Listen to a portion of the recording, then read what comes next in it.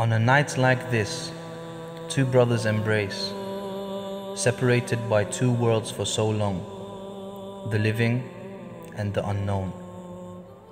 The soul of Hussein flew up to heaven, and Hassan welcomed him with arms outstretched. With a joyful sigh but teary eyes, Al Hassan says, O oh my brother, what calamities you have faced. For when I was killed, I was offered food and drink, yet nobody quenched your thirst in Karbala. Even though I was in pain, at least I had you and my family besides me. Who was there to hold your head when you fell? And although the poison ripped through my organs, at least my body was not trampled by horses and torn to pieces. At least when I died, I was buried close to our grandfather and knew my family was safe. Yet all you could think of as Shimr set on your chest was what would happen to Zainab and Ruqayya after you.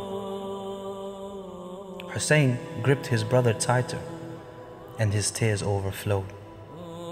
Oh brother, how can I complain of my difficulties to you? You say you are buried close to our grandfather, yet you do not know that when the arrows of our enemies hit your janazah, it was sharper than any sword that was used against me. Oh, brother Hassan, don't you see what Karbala has become today? A golden sanctuary for all our Shias. They can come to me and feel safe and at ease. I see them and hear them give their salams to me. Tell me, O oh brother, can you hear our Shias from the graveyard of Baqi'?